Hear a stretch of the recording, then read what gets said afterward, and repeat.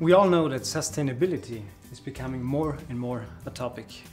People don't like anymore all the plastic waste they see. Single-use bottles, nobody likes it anymore.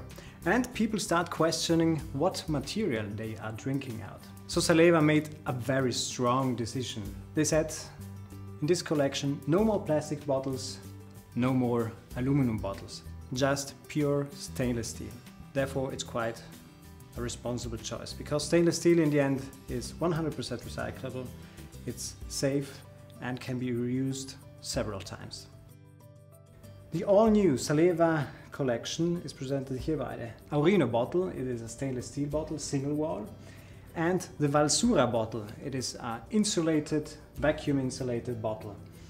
Therefore it keeps your beverages hot for up to 12 hours and cold for up to 24. We've opted here for a medium sized mouth because it's easy to clean, big enough for easy cleaning, but then also narrow enough so you can easily drink off.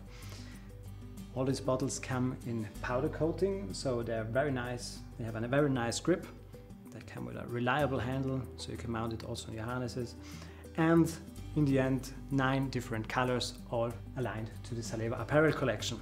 The new stainless steel collection in the end is made for mountain environment. And they are also suitable for when you want to bring the mountains with you in your daily life. And therefore, they are very simple, they are pure, and after, when you've used them enough, they're 100% recyclable.